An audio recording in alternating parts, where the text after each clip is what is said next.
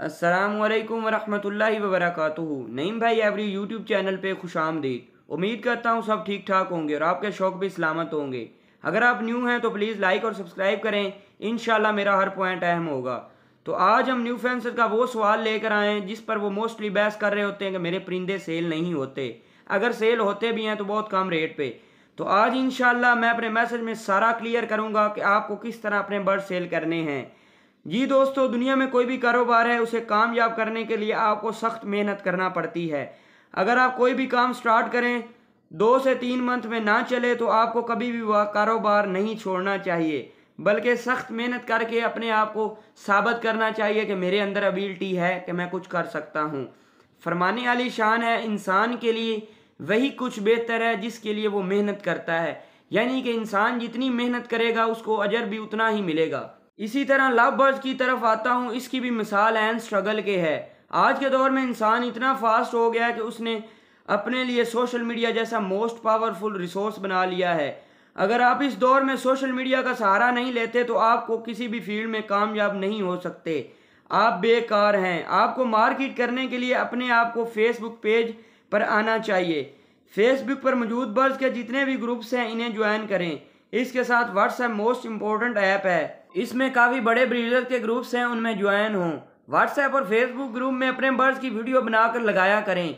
हफ़्ते में कम से कम अपने शहर में लगे बर्ड्स की एक लाजमी शॉर्ट वीडियो बनाकर सेंड करें।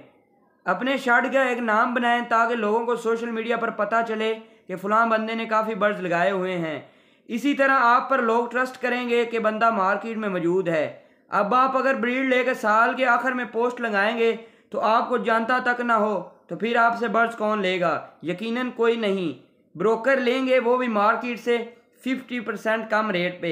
फिर आप गिला करेंगे कि मेरे बर्ड्स अच्छे रेट में नहीं सेल होते। अगर आप लव बर्ड्स हॉबी में कामयाब होना चाहते हैं तो आपको चाहिए कि अपने शेड के नेम के रिंग बनवाएँ। क्लोज रिंग बनवाएँ ताकि मार्केट में आपके नेम का पता चले। और हाँ हमेशा मार्केट में बर्ड्स उनके बिकते हैं जिनका ताल्लुक अच्छा हो। ईमानदारी से काम करें, झूठ ना बोलें, अच्छी नस्ल के बर्ड से ब्रीड करवाएँ। जो भी एक दफ़ा आपसे अच्छे बर्ड लेगा, वो दूसरी बार भी आपका पक्का कस्टमर बन जाएगा। और हाँ वो दूसरों को भी बताएगा कि इस बंदे से बर्ड लें, आप खुद ब खुद फ़ेमस हो जाएँगे।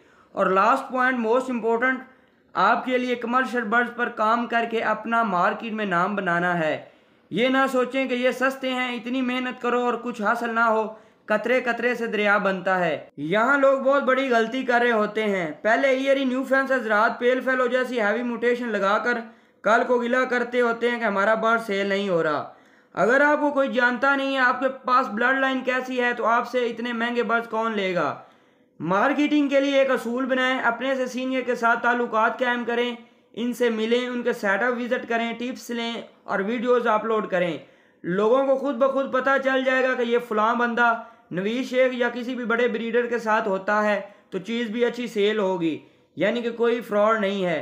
जब आपका मार्केट में नाम बन जाएगा बर्ड्स के मतलब सारा इलम हो जाएगा तो आपको अपना यूट्यूब चैनल बनाना चाहिए। सोशल मीडिया इस्तेमाल करें, लोगों को इन्फॉर्मेशन दें। फिर इंशाल्लाह एक वक्त आपको बर्ड्स की एड भी नहीं लगानी पड़ेगी। लोग एडवांस में आपसे बुकिंग करवाएँगे। उम्मीद करता हूँ मेरी बात आपको समझ आई होगी। प्लीज़ लाइक और सब्सक्राइब करें। वसलाम अल्लाह हाफिज़